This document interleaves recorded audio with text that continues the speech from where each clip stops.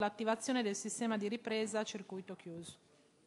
Le commissioni proseguono oggi il ciclo di audizioni informali nell'ambito dell'esame dello schema di decreto recante le procedure e le modalità per la programmazione e il reclutamento del personale docente e del personale amministrativo e tecnico del comparto AFAM, atto del Governo 126. Iniziamo con l'audizione della FLCGL per la quale do la parola ad Anna Maria Santoro, responsabile istruzione CGL nazionale, che saluto e ringrazio e per aver accolto l'invito delle commissioni chiedendone l'assenso in merito alla trasmissione dell'audizione sulla web tv della Camera dei Deputati. C'era adesso la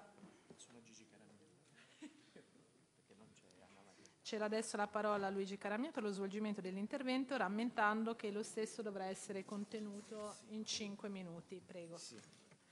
Allora, innanzitutto grazie eh, Presidente, grazie agli eh, onorevoli eh, per questa audizione che ci permette di dare un, uh, il nostro contributo, spero positivo, a un provvedimento che questo settore si aspetta da tanti anni. Allora, sarò molto schematico proprio per stare nei cinque minuti, vi manderemo delle, avete già dei documenti, vi manderemo per posta elettronica eh, i testi, sia i testi delle osservazioni sia il testo del, del, del provvedimento con le modifiche proposte le, le nostre integrazioni. Allora, una piccolissima premessa, innanzitutto noi manifestiamo soddisfazione per il fatto che viene finalmente superato il DPR 143 del 2019 che quindi viene cancellato. Noi avevamo segnalato che era un DPR che presentava notevolissime eh, eh, criticità e quindi riteniamo questo aspetto davvero molto importante. Quando poi si discute di un provvedimento come questo bisogna avere una eh, valutazione su due livelli. Il primo livello è che finalmente si ha un decreto sul reclutamento, quindi finalmente queste istituzioni che stanno vivendo una situazione di grande espansione possono avere un modello su cui da utilizzare per reclutare il personale, per fare la programmazione e così via. E poi ci sono i contenuti del provvedimento. Io segnalo subito le cose positive, però le numerose criticità che ci sono. Le cose positive sono l'istituzione dell'abilitazione artistica nazionale. Qualche, qualche tempo fa una ministra disse che non si poteva fare, eh, il meccanismo del reclutamento di coloro che mh, mm, sono, hanno, eh, il, sono, in possesso dell'abilitazione artistica nazionale, forme, alcune forme di tutela, seppure molto deboli secondo noi per i precari, e poi l'introduzione della figura dei ricercatori. Però le criticità sono notevoli che rischiano di far deragliare tutto il meccanismo messo su. Allora, le, le dico in maniera molto, te, molto semplice, in maniera tale da comprendere. Allora, le istituzioni sono 103, hanno una dimensione molto piccola, eh, allora bisogna fare delle procedure che abbiano caratteristiche particolari. Uno, il numero degli abilitati eh, nazionali deve essere proporzionato rispetto alle assunzioni da fare nel triennio. Le abilitazioni devono avere validità illimitate, non nove anni come adesso è scritto. Questo, il requisito dell'abilitazione è inderogabile per poter insegnare anche nelle istituzioni no, eh, private o le istituzioni non statali che si stanno sviluppando. Le commissioni delle abilitazioni sono nazionali e tutti sono sorteggiati. C'è scritto invece che il presidente è il, eh, il direttore di quell'istituto. Se la, l'abilitazione è nazionale, le commissioni sono nazionali. I concorsi di sede devono essere attivati soltanto se si arriva a eh, diciamo, un numero congruo, quindi non, non, è possibile fare 300 concorsi su 300 posti, ma è necessario che vi siano delle regole di questo tipo, quindi attraverso modalità congiunte. Anche in questo caso le commissioni le, eh, dei concorsi di sede devono essere integralmente sorteggiate. Alle, ai componenti delle commissioni credo che vada almeno dato il rimborso spese, visto che non è previsto neanche questo, quindi mi sembra un po' singolare se poi si fanno tutti questi concorsi. Alle commissioni devono essere applicate le norme sulle incompatibilità previste per i concorsi universitari. Noi abbiamo già assistito a una serie di vicende anche piuttosto gravi che sono state denunciate anche pubblicamente. C'è nel decreto, nello schema, il blocco quinquennale, una cosa del tutto ignota rispetto a, a, al livello universitario. Non esiste, esiste nel settore purtroppo scolastico il blocco peraltro triennale, quindi va cancellato. La mobilità del personale docente e tecnico amministrativo è tutto legificato. Noi contestiamo. La mobilità deve essere materia di eh, confronto e di, eh, deve essere regolata nel contratto istruzione e ricerca. siamo contrari alla costituzione di cattedre a tempo definito già di partenza. Il tempo definito è su richiesta del docente titolare, come peraltro avviene dappertutto. È necessario istituire il ruolo nazionale delle nuove figure tecniche di supporto diretto alla didattica, che purtroppo nel contratto sono state messe nel personale tecnico amministratore. Parliamo di accompagnatori al pianoforte, tecnici di laboratorio, tecnici di palcoscenico, eccetera, eccetera. Sono figure chiaramente che hanno... Quindi c'è la necessità di, di creare un ruolo. Vanno regolati i contratti di insegnamento, i contratti atipici, che sono molto diffusi. C'è scritto semplicemente che si fanno, c'è un regolamento e basta, vanno regolati in maniera eh, eh, nazionale. Infine, una osservazione sul testo che, di cui stiamo discutendo. Eh, il provvedimento è stato più volte respinto dal Consiglio di Stato perché mancava il concerto del Ministero dell'Istruzione. Il testo che vi è stato mandato non c'è il concerto del Ministero dell'Istruzione, come potete notare. Quindi secondo noi è un testo, non so quale testo di cui stiamo discutendo, voi sapete che nel testo viene, vengono abrogate numerosi articoli del testo unico della scuola. Sarebbe forse il caso di sapere in che termini è stato eh, fatto questo, questa cosa. Ultimissima cosa, siccome questo mi, riferi, mi, rivolgo soprattutto ai componenti della settima commissione, voi discuterete a brevissimo, fra qualche minuto forse, del DPR su, sugli ordinamenti di, su cui non so perché non, non, sono, non sono stati previsti audizioni. Noi per sicurezza ieri vi abbiamo mandato le nostre osservazioni. Come sindacato siamo perfettamente in grado, di, dei docenti e del personale tecnico amministrativo, di dare delle nostre opinioni. Anche in quel caso vi segnalo che ci sarebbe eh, il bisogno del concerto del Ministero dell'Istruzione banalmente perché le istituzioni AFAM fanno delle attività, soprattutto i conservatori ma anche l'Accademia di Nanza, in relazione a ragazzi diciamo più giovani. Eh, e quindi forse sarebbe il caso di sapere come si regola e visto che c'è scritto che il Ministero dell'Istruzione avrebbe dato il concerto, forse non sarebbe male conoscere in che termini l'ha dato. Ovviamente troverete tutto in maniera più approfondita, ovviamente 5 minuti sono eh, pochi, eh, nelle, nella documentazione che vi arriverà in maniera in formato elettronico al termine di questa audizione. Grazie davvero. Grazie sono deputati che, che intendono intervenire? Se non ci sono interventi, proseguiamo con l'audizione di Domenico Carlo Magno, segretario nazionale CIS Università, che saluto e ringrazio per aver accolto l'invito delle commissioni, chiedendo l'assenso in merito alla trasmissione dell'audizione sulla web TV della Camera dei Deputati. Prego. Sì. Gra grazie. Saluto e ringrazio lei Presidente e i componenti di questa Commissione per eh, questa opportunità di, di, audizione su un, su un, provvedimento che attendiamo, che il settore AFAM attende da, ormai da 25 anni e che nella scorsa legislatura finalmente, dopo diversi tentativi che erano stati fatti nelle legislature precedenti, aveva visto il varo di un DPR, 143 del 2019, sul, sul quale ehm, come organizzazioni sindacali e anche come il, il, la conferenza dei direttori e dei presidenti e anche il CNAM avevamo fatto tutta una serie di rilievi. In primo luogo era stato detto che siccome il settore si avvicinava, doveva essere omologato a quello universitario, dove si doveva prevedere anche per questo tipo di reclutamento l'abilitazione, un'abilitazione scientifica, un'abilitazione artistica nazionale. E questa era la critica più importante, più rilevante che era stata fatta al provvedimento. Sulla scia di questa critica era stato riscritto un, eh, il DPR che andando all'esame del Consiglio di Stato aveva avuto gioco, buon gioco il Consiglio di Stato, passatemi questa espressione, nel dire che l'abilitazione artistica nazionale non si poteva fare in quanto mancava, come per l'università, un'espressa previsione legislativa in tal senso. La previsione legislativa è arrivata lo scorso anno, dopodiché evidentemente il testo approdato al Consiglio di Stato ed è quello che adesso è all'esame del, del, vostro parere.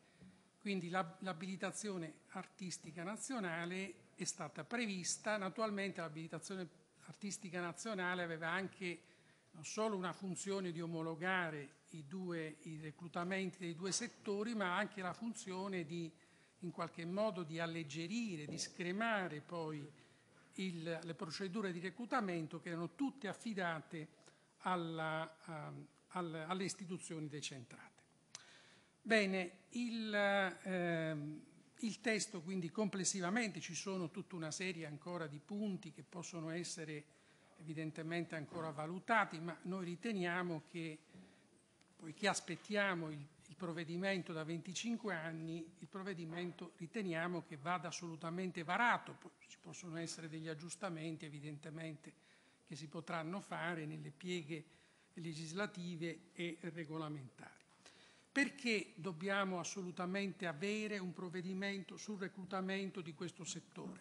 Perché il reclutamento in questi 25 anni l'abbiamo fatto, è stato fatto con, diciamo così, composizioni locali, commissioni composte localmente con criteri, diciamo così, non proprio omogenei, con commissari che io ho definito un po' provocatoriamente anche negli incontri ministeriali, un po' compagnie di giro, perché erano un po' sempre gli stessi docenti che componevano le commissioni e quindi evidentemente anche il criterio di valutazione, di selezione dei docenti erano criteri, diciamo così, diciamo, uni, uni, uniformi, no? perché essendo sempre stesse, gli stessi commissari si tendevano evidentemente a privilegiare sempre determinati requisiti nella selezione. Dopodiché con selezioni sempre diciamo così, con questo meccanismo di selezione eh, locale frammentario, poi intervenivano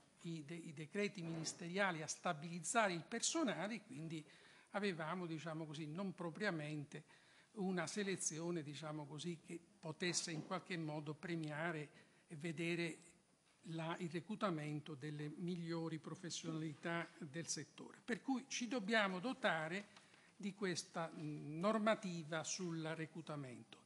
Come pure le commissioni sono state tutte, vengono, c'è previsto un sorteggio e, e, quindi dovrebbe in qualche modo diciamo così, superare questo, questa, la logica un po' delle, eh, de, delle solite partecipazioni. Il reclutamento quindi tende un po' ad essere uniformato a quello universitario e qui eh, diciamo così, si tendono anche un po' a recepire alcune criticità del reclutamento universitario. La prima è che il, bisogna un po' evitare che il sistema poi dell'abilitazione artistica nazionale sia in qualche modo regolato, fermo restando poi anche qui tempi dell'abilitazione artistica, se nove anni o allungarli, eccetera, cosa che è avvenuta per l'università, perché per l'università l'abilitazione scientifica nazionale inizialmente era prevista per tre anni, poi prorogata a sei e ora a nove, ma soprattutto bisogna un po' stabilire un qualche parametro tra i cosiddetti abilitati e poi il, i docenti chiamati, questo perché evidentemente altrimenti noi ampieremmo notevolmente la platea dei cosiddetti docenti che aspirano poi alla stabilizzazione.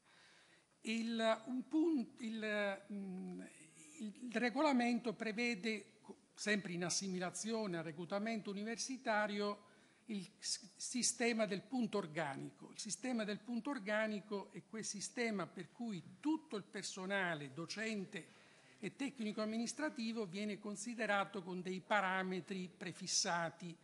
Bene, eh, e quindi non fa distinzione tra i ruoli. Questo, questo, meccanismo nell'università dal 2019 al 2023 ha fatto sì che il personale docente, che era stato evidentemente anche in primo momento eh, contenuto per effetto poi dei provvedimenti di contenimento della, di finanza pubblica dal, 2019, dal 2009 fino alla, al 2017, ma dal 2017 è tornato ai livelli 2009 ed è ulteriormente cresciuto per il personale tecnico amministrativo in questo stesso periodo per l'università, proprio col sistema del punto organico, abbiamo visto ridurre di circa 7-8 mila unità complessivamente il personale. Quindi questo è un rischio evidentemente che questo sistema adottato anche all'AFAM potrebbe comportare anche per questo settore, cioè bisogna stare attenti che il, una componente, diciamo così, la componente docente o la componente tecnica amministrativa non, nel, nel, nella composizione degli organici non, non prevalga. Quindi conclusivamente la nostra valutazione, ripeto, resta positiva, lo schema è uno schema di, che ricalca in buona, buona parte quello della precedente legislatura, ripeto, con l'introduzione di questa importante novità dell'abilitazione artistica nazionale e crediamo che sia un provvedimento importante proprio perché tende ad assimilare ancora il sistema il, il settore AFAM a quello universitario. Grazie. Grazie a lei. Chiedo se vi sono deputati che intendono intervenire. Non ci sono interventi. Proseguiamo con l'audizione di Marco Ciamacco, segretario Dipartimento AFAM Will Rua, che saluto e ringrazio per aver accolto l'invito delle commissioni, chiedendo l'assenso in merito alla trasmissione all'audizione sulla web TV della Camera dei Deputati. Le cedo la parola per lo svolgimento dell'intervento.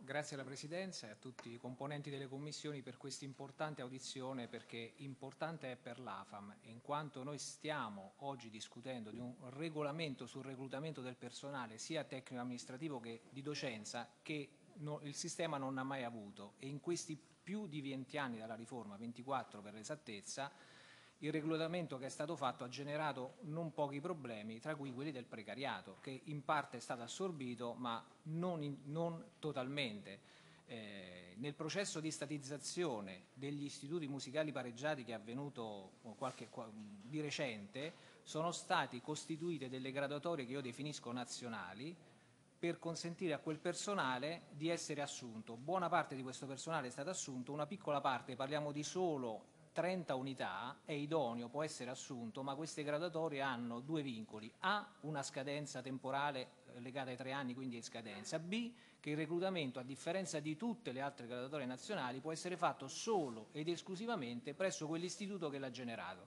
Quindi se si, andiamo verso una nuova stagione di reclutamento, attenzione a non lasciare indietro chi è rimasto indietro. Detto questo, qual è l'obiettivo del reclutamento? Il reclutamento è avere regole certe per chi entra nel sistema, ma il reclutamento, senza entrare adesso nella tecnica di come avviene il reclutamento, porta con sé un problema importantissimo che io oggi devo porre. È un sistema che non consentirà il reclutamento del personale docente e tecnico amministrativo perché? Non lo consentirà perché le istituzioni dovranno fare una programmazione triennale del fabbisogno nel fare la loro programmazione avranno a disposizione quello che il DPR definisce facoltà assunzionale. Cos'è la facoltà assunzionale? La facoltà assunzionale è data dalle cessazioni dell'anno precedente. Quindi, se faccio un esempio molto semplice, io ho il, il Conservatorio, l'Accademia di Roma, di Milano, prendiamo un esempio a caso, ha 20 posti vacanti in dotazione organica che deve ricoprire per forza perché quei posti garantiscono l'offerta formativa, non li potrà ricoprire se non limitatamente alle cessazioni, quindi ai pensionamenti avute nell'anno precedente. Quindi se l'istituzione ha 20 posti vacanti potrà reclutare 1-2 docenti o 1-2 tecnici amministrativi e tutto il resto dei posti sarà, continueranno ad essere ricoperti a tempo determinato con un'altra problematica che il DPR nel recepire le direttive europee impedisce di prorogare i contratti a termine oltre tre anni.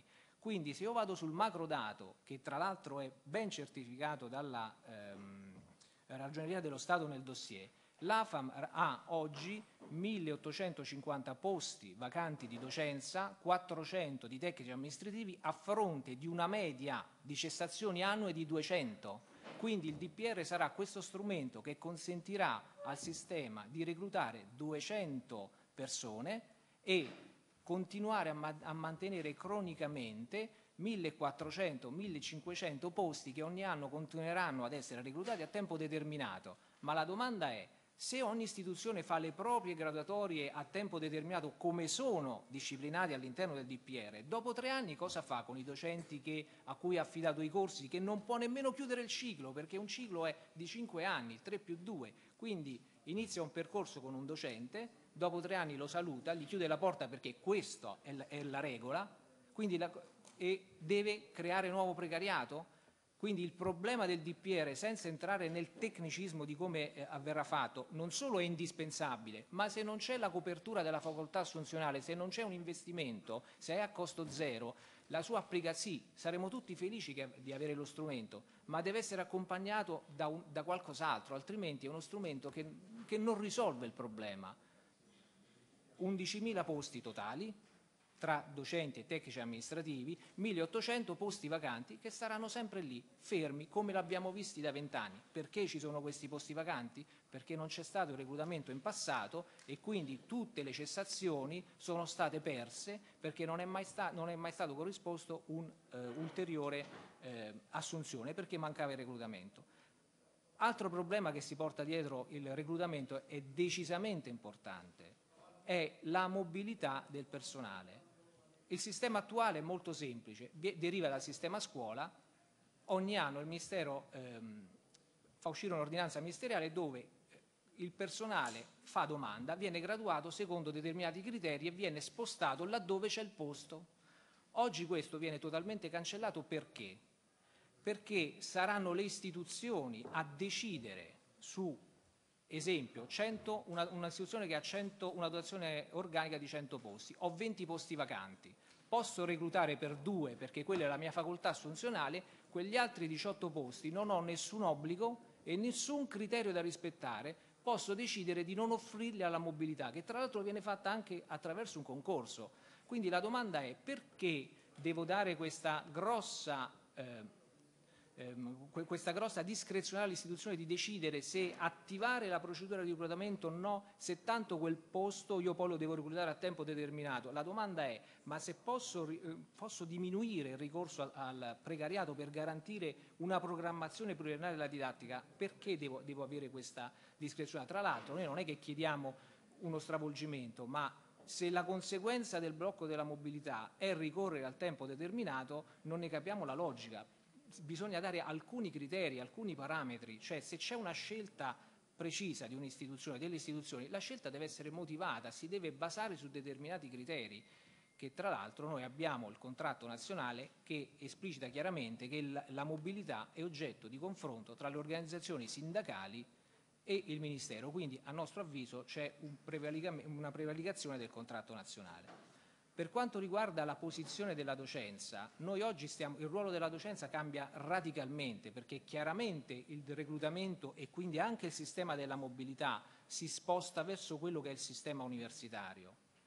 Ma se oggi il docente è chiamato ad essere reclutato in una, in una sede, rimanere lì praticamente quasi a vita perché il sistema non ti dà solo la il potenziale possibile di trasferimento, ma di fatto, così come è scritto, sostanzialmente è veramente irrisorio. Poi c'è un obbligo enorme di lavoro perché le commissioni di reclutamento, di abilitazione nazionale, le commissioni per, per, la, per la, valutazione della mobilità, le commissioni per il reclutamento a tempo determinato e qua saranno tutte gravate, è un, è un lavoro che si aggiunge al personale e francamente qui apriamo un altro problema che è quello della retribuzione, che si lega tra l'altro a quello che è il tempo definito, perché il DPR sul reclutamento definisce anche la possibilità da parte delle istituzioni di eh, eh, trasformare il posto di docenza a tempo definito, cioè al 50%, addirittura dicendo che la retribuzione sarà al 50%. La domanda è, ma veramente dobbiamo creare dei posti di docenza al 50% a tempo determinato con uno stipendio che sarà inferiore a 1.000 euro? Perché uno stipendio di un docente AFA non arriva a 2.000 euro.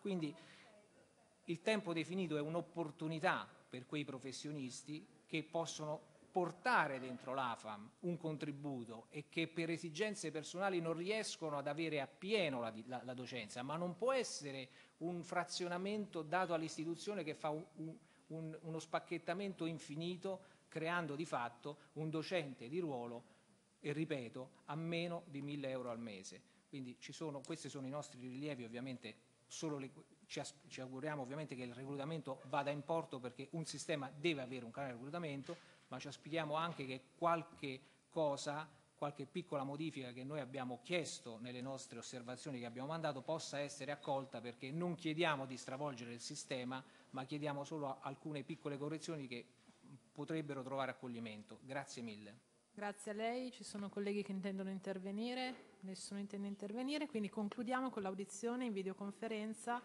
di Ornella Cuzzupi, segretaria nazionale di UGL Scuola Istruzione, che saluto e ringrazio per aver accolto l'invito delle commissioni, chiedendone l'assenso in merito alla trasmissione dell'audizione sulla web tv della Camera dei... È in presenza? Sono in presenza. Ah, ecco, c'è scritto bene, quindi la salutiamo che è in presenza e le cedo la parola per 5 minuti.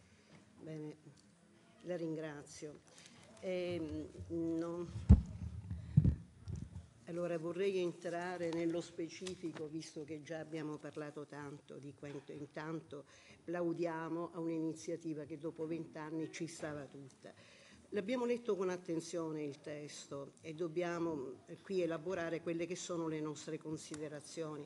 Sono diverse le direttrici su cui si è intervenuti e che costituiscono le linee guida più significative del recente schema di decreto, dalla riforma del ciclo del reclutamento e della mobilità col decentramento delle procedure di reclutamento e di valorizzazione dell'autonomia delle istituzioni, all'introduzione dell'abilitazione artistica nazionale alla programmazione dei fabbisogni formativi di personale, al superamento della mobilità nazionale e all'introduzione alla disciplina della figura del ricercatore AFAM. Ma l'ambito dell'alta formazione artistica, musicale e coreutica richiede ancora di più coraggio e soluzioni innovative per la programmazione e il reclutamento del personale docente, amministrativo e tecnico soluzioni più al passo con i tempi, con l'era tecnologica ormai 4.0 ed aperte al territorio, fonte imprescindibile per il successo condiviso. Da parte nostra poniamo sul tavolo alcune idee, attraverso le quali a nostro avviso sarebbe possibile migliorare il sistema. Piattaforme di talent acquisition, creare piattaforme digitali specializzate dedicate per la ricerca e l'assunzione di personale docente amministrativo e tecnico del comparto AFA, organizzare eventi di networking, ossia creare e coltivare una rete di conoscenze e relazioni professionali significative e durature nel tempo, nell'ottica di scambiare valore reciproco per il proprio lavoro. Programmi di formazione continua, investire in programmi di formazione continua per il personale docente, amministrativo e tecnico, anche facendo collaborare tra di loro le istituzioni AFAM, quindi creare il collegamento scuola-AFAM.